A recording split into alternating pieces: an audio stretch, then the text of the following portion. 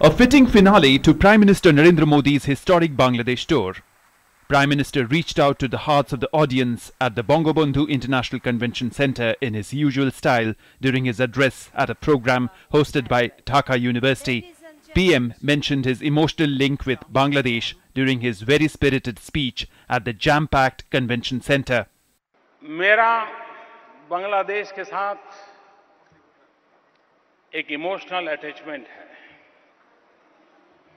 और emotional attachment ये है, यहाँ से उठी हुई आवाज़। उस पुकार ने हमें प्रेरित किया और मैं जीवन में पहली बार गाँव छोड़ करके दिल्ली में भारतीय जनसंघ के द्वारा बांग्लादेश की मान्यता के लिए जो सत्याग्रह चल रहा था, उस सत्याग्रही बनने का मुझे सौभाग्य मिला। मेरे जीवन की ये पहली राजनीतिक गतिविधि थी। Referring to the land boundary agreement between the two countries, the PM described it as not just an issue of swapping a few acres of land, but one which bonded hearts together. बहुत कम लोग इस बात का मूल्यांकन कर पाए हैं कि भारत और बांग्लादेश के बीच लैंड बाउंड्री एग्रीमेंट क्या ये सिर्फ जमीन विवाद का समझौता हुआ है ये समझौता दिलों को जोड़ने वाला समझौता Going back to the pages of history, the Prime Minister said India and Bangladesh are not only geographical neighbors but also partners in development and economic prosperity.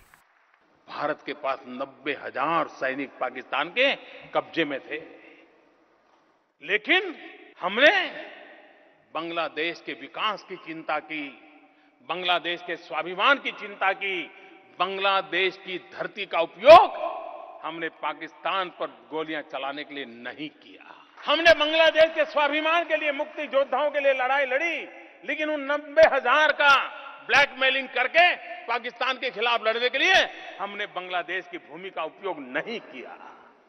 क्यों? हम चाहते थे कि बांग्लादेश बंगबंधु के नेतृत्व में आगे बढ़े, विकास की नई ऊंचाइयों को पार करे।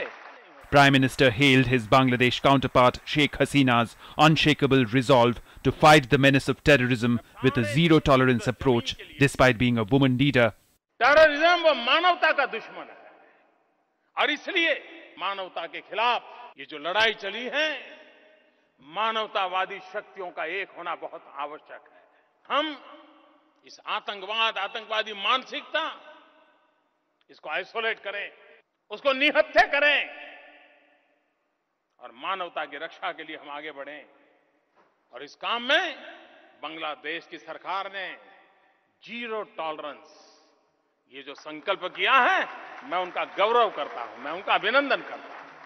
The Prime Minister spoke of shared potential in sectors such as solar energy and space.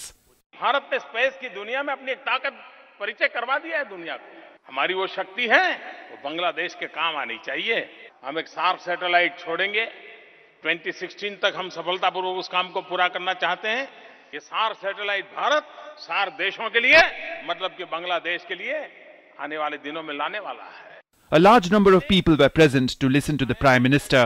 I'm extremely feeling honored for being here and it's uh, very prestigious and uh, Mr. Modi came after one year of his reign. अभी इनके आने से मोदी के आने से I think बहुत ज़्यादा positivity आई है ये संबंध प्रगति की ओर जाएगी। बहुत ही प्रगतिशील विचार के वो हैं और इसमें कोई शक नहीं है कि भारत बांग्लादेश का रिलेशन और भी पक्का और मज़बूत होगा। Outstanding leader in this region south Asia as well of the world he represent the one of the popular democratic country in the world A cultural program was also held on this occasion.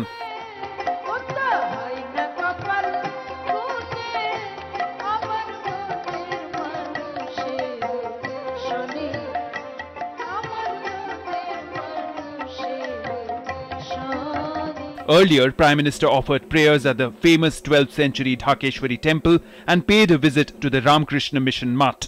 The PM spent around 15 minutes at the Dhakeshwari temple, which is considered an essential part of Dhaka's cultural heritage and one of the major Shakti Peeths of the region.